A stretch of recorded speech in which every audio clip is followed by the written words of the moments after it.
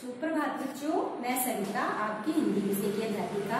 तो बच्चों, पहले हमने दो और तीन वर्णों का जोड़ लिखना और पढ़ना सीखा है और आज हम चार वर्णों का जोड़ लिखना और उसको पढ़ना सीखेंगे। तो बच्चों, मैंने यहाँ लिख रखा है ह, ल, हल।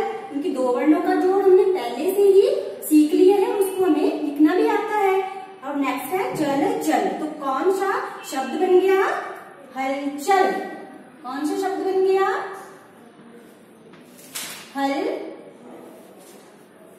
चल। हलचल आपने भी ऐसे ही इसको पढ़ना है। आगे है अद अट रक रक। तो कौन सा शब्द बन गया? अदरक। कौन सा शब्द बन गया? अदरक।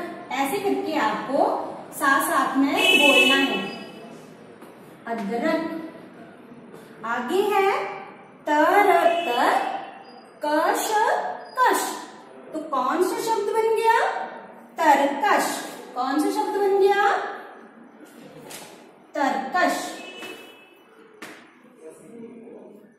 तरकश आगे है बर बर, तन तन। तो कौन सा शब्द बन गया बच्चों? बर्तन। कौन सा शब्द बन गया? ब, र, त और न, बर्तन। तो इस तरह से आपने बोल बोल के राइट करना है, इसको लिखना है। हल, चल, हलचल। अद, रक, अदरक।